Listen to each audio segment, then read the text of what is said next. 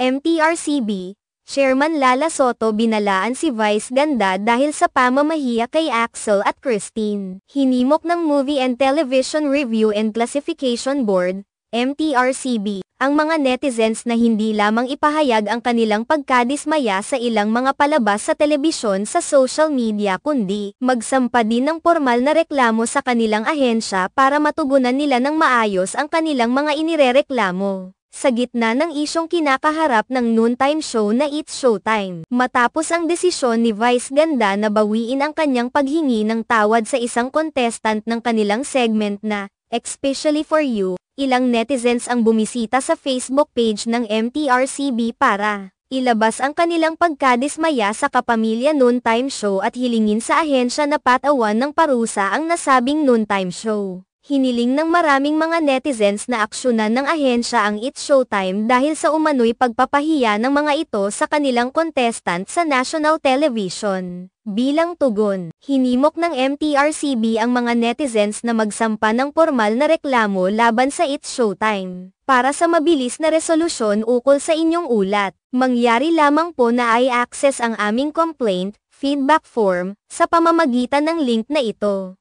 Sagot ng MTRCB sa komento ng netizens na nagrereklamo sa It's Showtime. Mahalagang paalala, punan ang mga kinakailangan na impormasyon na hinihingi sa form upang masiguro ang epektibong pagtugon sa inyong report, complaint, o feedback, dagdag pa nila. Matatandaang humingi sana ng paumanhin si Vice Ganda sa kalahok na si Axel Cruz matapos niya itong sawayin dahil sa gesture nito sa searcher na Maria Christine. Matapos sabihin ni Christine na ayos lang siya sa mga kilos ng deserchi na si Axel.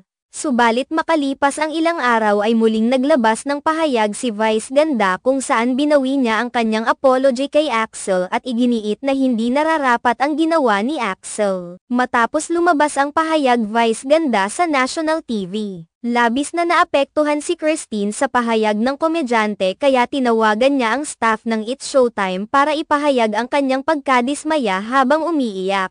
Ayon sa kay Christine, ang naging pahayag ni Vice Ganda ang dahilan kung bakit siya binabatikos ngayon dahil pinalabas nitong isa siyang sinungaling.